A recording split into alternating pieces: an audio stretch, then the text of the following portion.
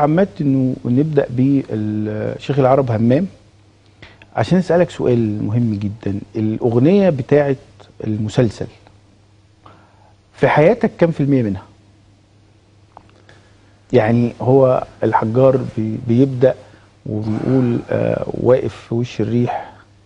آه ال آه. ال ال من أول كلمة فيها آه. في شيخ العرب همام يعني لمسات وكلمات تعبر عن حياة كل واحد مش أنا بس.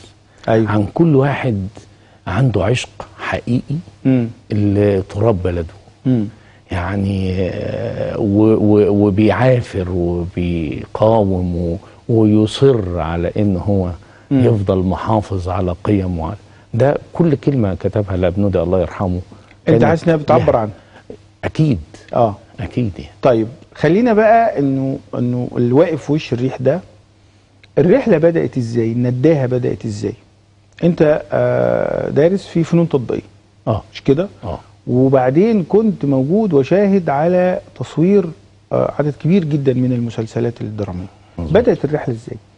آه، أنا الأول خالص كنت آه، في دراسة تانية خالص غير الفن عموما.